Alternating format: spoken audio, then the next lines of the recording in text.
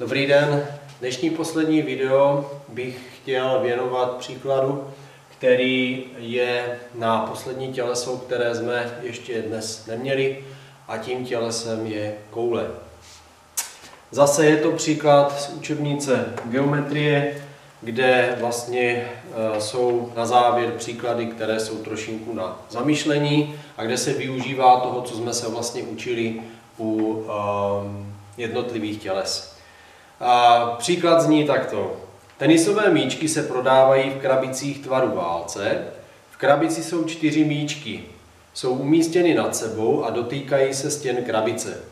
Průměr tenisového míčku je přibližně 6,6 cm. Máme spočítat, kolik procent objemu krabice je vyplněno míčky. Takže, abychom si to dokázali představit, tak si uděláme náčrt. Takže ty tenisové míčky jsou umístěny v vlastně krabičce, která má tvar válce. To znamená, krabička může vypadat nějak takto.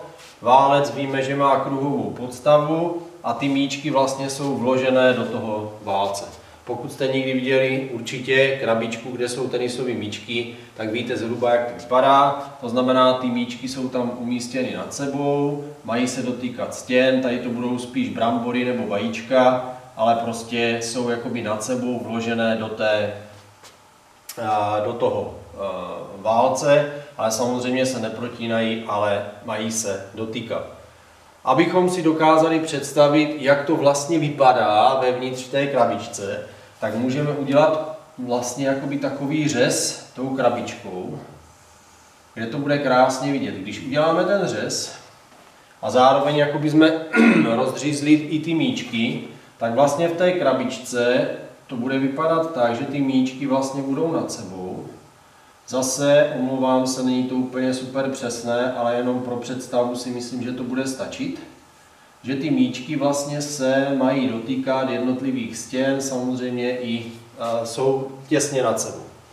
No a z toho vlastně budeme vycházet, protože když víme, že podstava je kruh a vlastně ten míček jako takový má tvar koule, a my máme uvedeno, že průměr toho míčku je 6,6 cm. A protože se ten míček má dotýkat těch bočních stěn, tak to znamená, že zároveň taky těch 6,6 cm je i průměr to, té podstavy toho válce, toho kruhu. To znamená, i tady toto je 6,6 cm. Zároveň si dokážeme vypočítat, jak vysoký je eh, ten válec, to znamená ta krabička, ve které jsou ty míčky.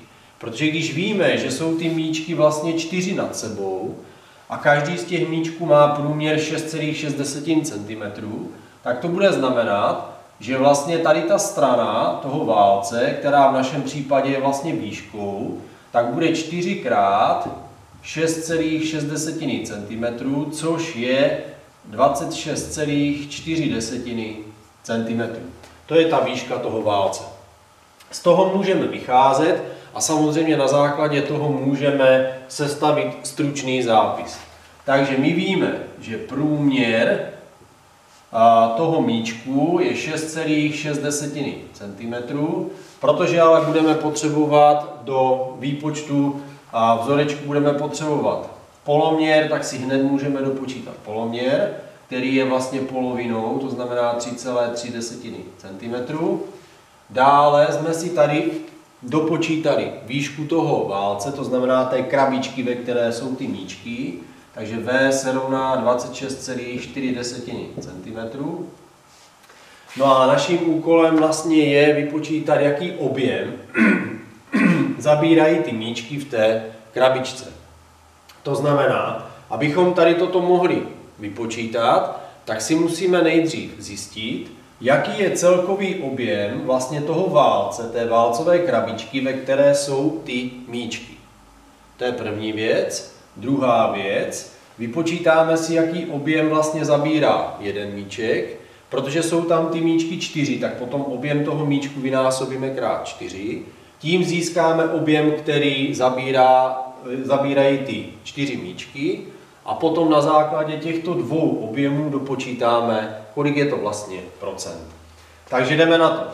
První vypočítáme teda objem té válcové krabičky, takže bude V rovná se a obsah válce, pokud si vzpomínáte, se vypočítá jako obsah uh, objem válce se vypočítá jako obsah podstavy krát výška. To znamená, bude to SP krát V, kde podstavou té krabičky toho válce je kruh, to znamená místo toho SP dosadíme vzoreček pro výpočet obsahu kruhu, který si určitě všichni pamatujete, že to je pi krát r na druhou a ještě tam bude krát ta výška toho válce.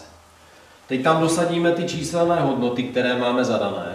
Tady akorát dávejte pozor, abyste místo R nedosadili 6,6, protože to je průměr. My musíme dosadit hodnotu poloměru. Takže to bude 3,14 krát 3,3 na druhou krát výška, která je tedy těch 26,4 cm.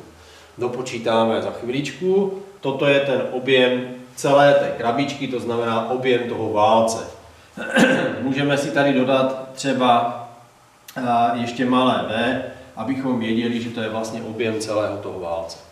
A teďka musíme vypočítat objem toho jednoho míčku, protože ten míček má tvar koule, tak vlastně použijeme pro výpočet vzorec pro objem koule, což je 4 třetiny krát pi krát r na třetí. Dosadíme zase číselné hodnoty, 4 třetiny krát 3,14 krát 3,3 na třetí. Toto bude objem toho míčku, takže dejme tomu, že VM, abychom věděli, že VM je objem míčku. Když tak to můžeme potom ještě doplnit, aby jsme věděli, nebo abyste věděli, co vlastně ty jednotlivé symboly znamenají. Tak, teďka si vezmeme kalkulačku a můžeme dopočítat vlastně ty jednotlivé objemy, aby to bylo rychlejší. Takže 3,3 na druhou krát 26,4 krát 3,14 bude objem celého toho válce, té krabičky, je tedy 902,74 setin centimetru krychlového, za, zaokrouhlíme na dvě desetiná místa. No a teďka ještě musíme dopočítat objem toho míčku. Takže objem jednoho toho míčku bude 3,3 na třetí potom krát 3,14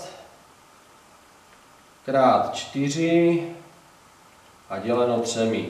Takže to vychází 150 celých 46 cm krychlového po zaokrouhlení.